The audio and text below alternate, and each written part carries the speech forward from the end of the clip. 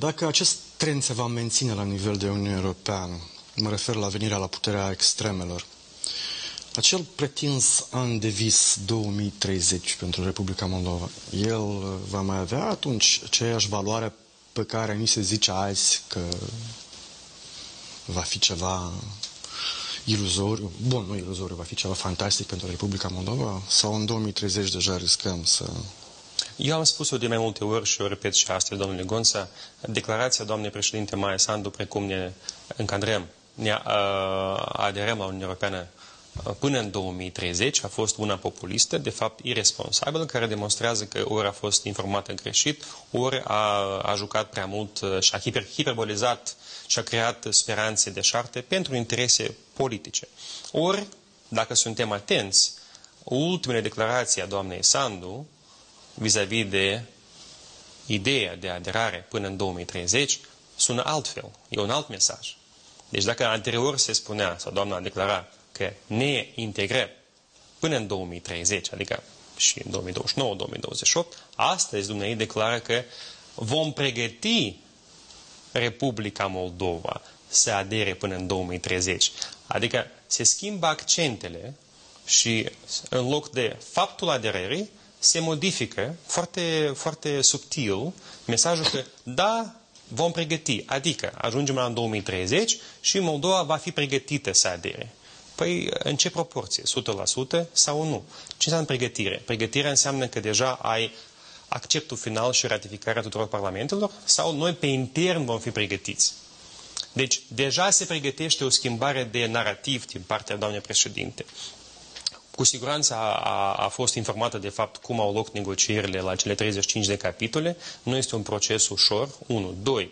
Cu așa o echipă de negociatori cu așa o echipă guvernamentală, mă refer echipa pasului în ziua de astăzi, că toți sunt politizați și numiți pe criterii politice, uh, nu cred că vom uh, reuși să negociem perfect capitole de, de, de, de negociere cu Uniunea Europeană și cu siguranță cu așa o echipă nu ne integrăm în Uniunea Europeană.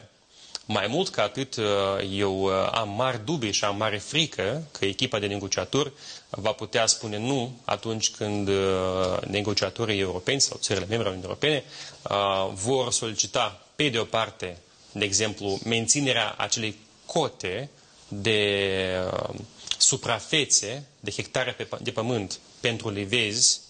Vițe de vii și livezi de Republica Moldova, raportate fiind la suprafața țării, fiindcă sunt niște standarde europene, iar dacă aplicăm acel standard imediat, fără negociere, în Republica Moldova, noi vom fi nevoiți să tăiem livezi și vițe de vii. Ceea ce pentru noi, ca țară agrară, încă este o problemă majoră. Eu nu am certitudinea că actualii negociatori și guvernarea aceasta incompetentă va putea negocia și solicita o perioadă de tranziție, de exemplu. Eu aș fi făcut acest lucru de tranziție pentru optimizare, pentru valorificare, uh, pentru agricultură, dacă ne referim. Ori, am fost recent în vizitele mai multe raioane Republicii Moldova și mi s-a pus întrebarea, dar dacă Uniunea Europeană vine și ne aplică aceleași cerințe pentru producătorii din zootehnie, cei care produc, au ferme de porci, de, de vite și alte animale.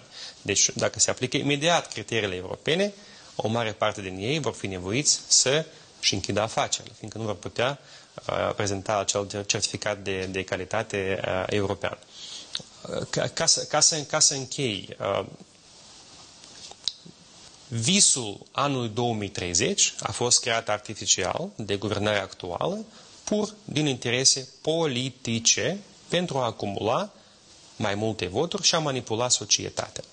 Eu sunt pentru integrarea europeană, dar trebuie să fim și realiști. Nu putem să ne jucăm cu percepțiile oamenilor și nu putem să exagerăm niște lucruri ca după aia dezamăgirea să fie atât de mare, atât de mare, că situația în Franța ni se va părea o situație mult mai, mai, mai bună decât ceea ce se poate întâmpla în Republica Moldova. Mă refer la electorale.